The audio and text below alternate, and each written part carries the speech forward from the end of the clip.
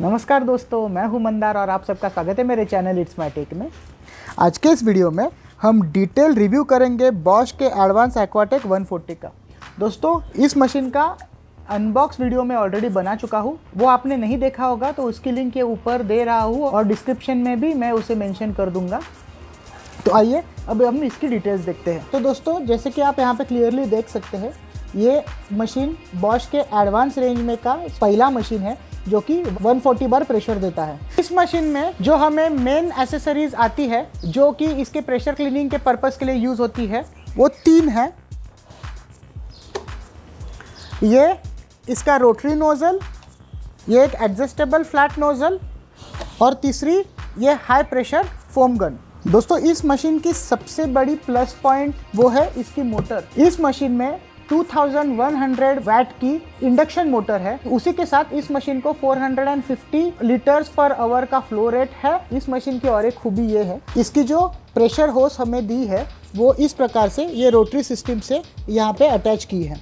ये मशीन की डिज़ाइन कुछ इस प्रकार से बनाई गई है कि इसकी सारे accessories high pressure foaming gun उसके साथ और एक आने वाला रोटरी जेट जो पावर कॉर्ड है, जिसकी 8 मीटर की लेंथ है। इस मशीन में ही वो फिट हो जाती है। ये मशीन बॉश के बाकी सारे मशीन्स की तरह pressure sensitive automatic cut off के साथ है।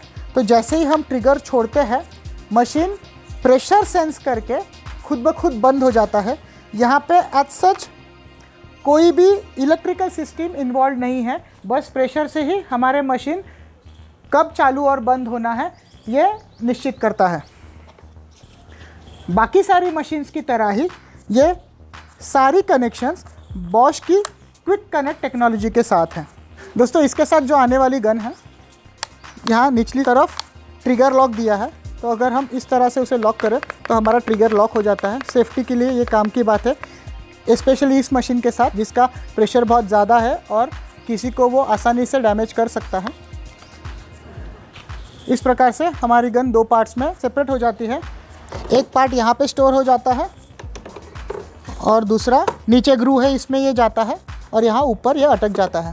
तो ये मशीन जब हम इस्तेमाल करते हैं, तब उसकी सारी एसेसरीज हम मशीन के साथ ही सब जगह पे कैरी कर सकते हैं। दोस्तों, और एक इस मशीन की खास बात यह है कि इसकी जो ये पाइप है नॉर्मल यूनिवर्सल सीरीज़ के मशीन से कंपेयर करें तो मोटी है और उसी के साथ इसकी जो आर्मर है, वो बॉश की वेबसाइट के हिसाब से मेटालिक है। तो अगर हम इस मशीन के ड्रॉबैक्स के बारे में बात करें, पहली सबसे बड़ी ड्रॉबैक मैं ये कहूँगा कि इसकी जो पूरी बिल्ड है, वो प्लास्टिक में की है।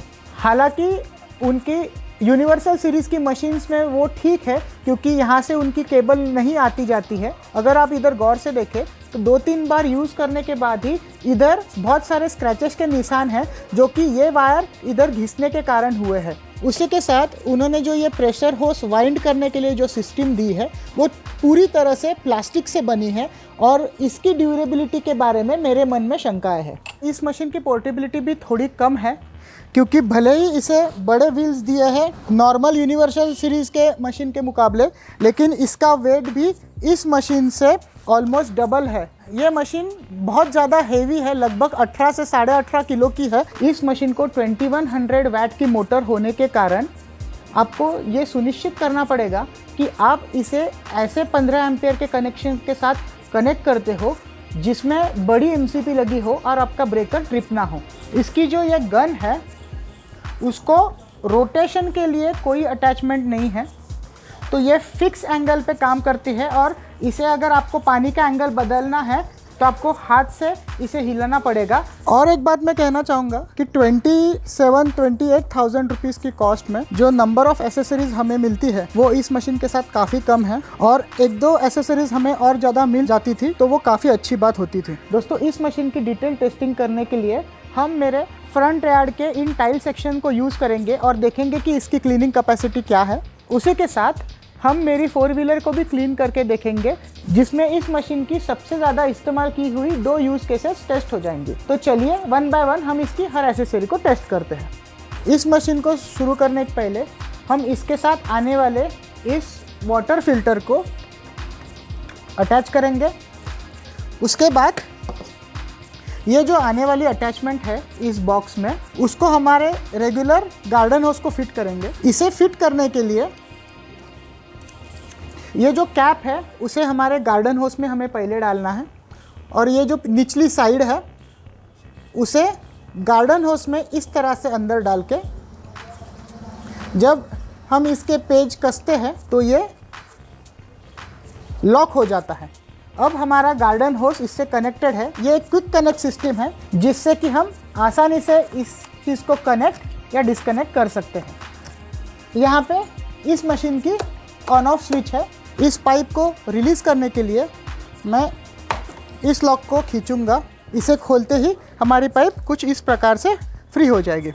तो दोस्तों, अब मैंने इस मशीन को मेरे 15 एम्पियर के पावर प्लग के साथ कनेक्ट किया है। हम यहाँ से इसे चालू करेंगे।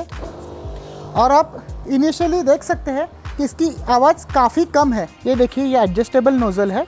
अगर आप इसको पूरी तरह से इस प्रकार से बंद करें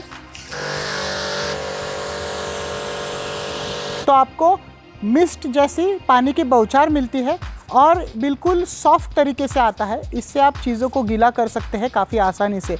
लेकिन अगर आप इस नोज़ल को पूरी तरह से खोल दें, जैसे कि मैंने यहाँ पे खोला है तो मैं आपको यहाँ पे चेतावनी देना चाहता हूँ। ये नोज़ल इस तरह से खोलने के बाद इसके सामने ना गाड़ी के पेंट सर्विसेज़ को डायरेक्टली लाए, ना हाथ या कोई भी ह्यूमन पार्ट लाए, क्योंकि अब जो इसमें से आने वाली बीम है, वो बहुत ज़्यादा स्ट्रॉन्ग और हाई प्रेशर वाली होती है, कुछ इस तरह से।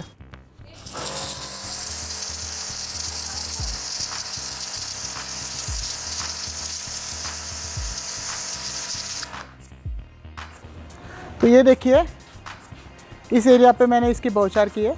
लेकिन ये बहुत ही, जब आपकी सरफेस सख्त हो, इसके ऊपर के दाग भी बहुत ज़्यादा पक्के हो तो ही आप इसका इस्तेमाल कीजिए। इस बात को सुनिश्चित कीजिए कि जब आप डायरेक्टली इस बीम का यूज़ करते हो, तब आपका सरफेस इसे झेल पाए।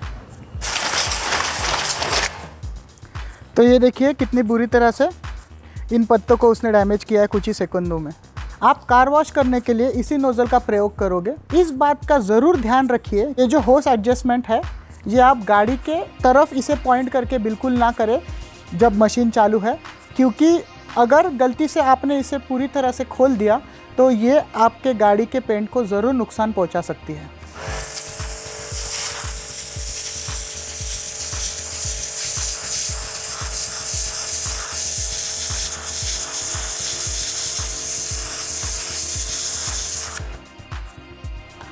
तो दोस्तों, ये एक ईट है और ये ईट में मैंने इस पानी के प्रेशर से मैंने इतना बड़ा चिरा बना है। तो ये देखिए। ये काफ़ी सख्त ईट है, लेकिन ये पानी के प्रेशर से इसे इतने आसानी से काटता है।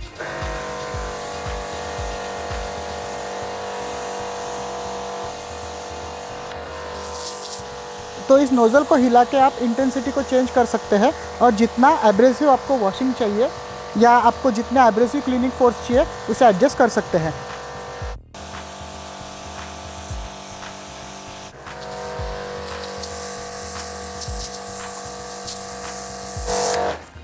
तो आप देख सकते हैं, इसे मैंने ज़्यादा प्रेशर से साफ़ किया है और ये मैंने कम प्रेशर पे साफ़ किया है। तो इस नोज़ल के मदद से आपको मल्टीपल नोज़ल्स का बेनिफिट मिलता है। तो दोस्तों, नोज़ल्स की अगर बात आ रही है, मैं तो आपको दिखा दूँ, इसकी नोज़ल्स की भी क्विक कनेक्ट सिस्टम है। तो अगर आप इस बटन को यहाँ पे दबाएँ तो ये आसानी से निकल आता है। ये इसका एडजस्टेबल नोज़ल है। यहाँ पे ऊपर की तरफ़ एक नॉच दी है और यही नॉच इधर भी दी गई है। तो हमें बस इसे मैच करके लगाना है। तो आइए, अब हम इसे स्टोर करते हैं और देखते हैं कि इसका रोटरी नोज़ल क्या करता है। तो ये जो रोटरी नोज़ल है, क्योंकि प्रेशर एडजस्टमेंट नहीं है, ये बहुत ज़्यादा हाई इंटेंसिटी प्रेशर के साथ काम करता है। बस आप इसे प्रेस फिट करें।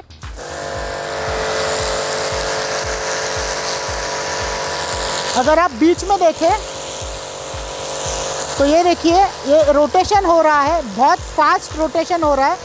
तो जो चीज़ें फ्लैट नोज़ल से ना निकले, आप रोटरी नोज़ल यूज़ कर सकते हैं।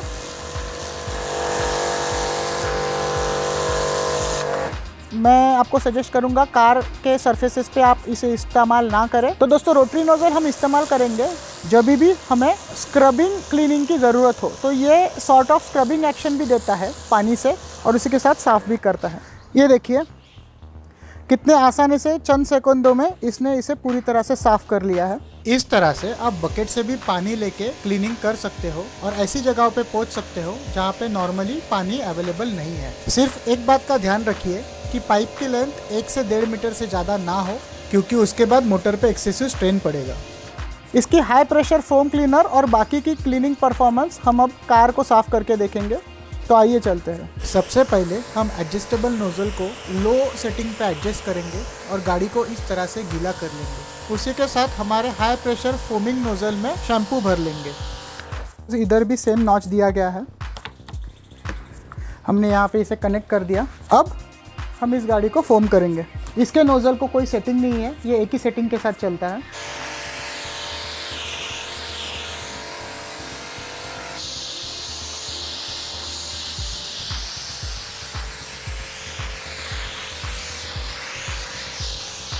ऑलमोस्ट आधी बॉटल यूज़ कर ली है।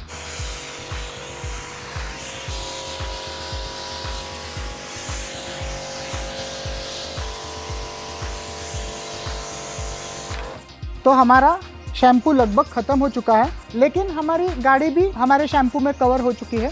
तो आप कह सकते हैं कि एक पूरी बॉटल में एक नॉर्मल कार धो के हो जाएगी। एक बार फोम ख़त्म होने के बाद मैं इसी अटैचमेंट से पूरी गाड़ी धो सकता हूँ। लेकिन अब मैं इसके एडजस्टेबल नोज़ल को लगा के पूरी गाड़ी क्लीन कर लूँगा।